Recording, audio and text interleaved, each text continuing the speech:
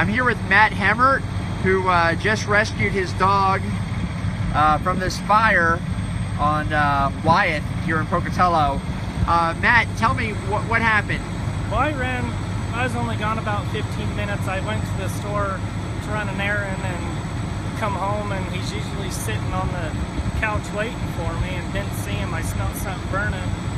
So I opened the door and smoke. So I, my first instinct was to find him and get him out. And, then the next thing I did, I went and opened the back door to air it out and found the fire extinguisher and got the majority of the fire out. And it's just What's your What's your dog's name? Buford. And uh, so you you pulled him out of there, and Yeah. uh, you said he was was barely breathing. Yeah, he was.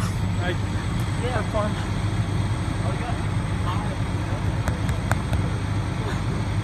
CPR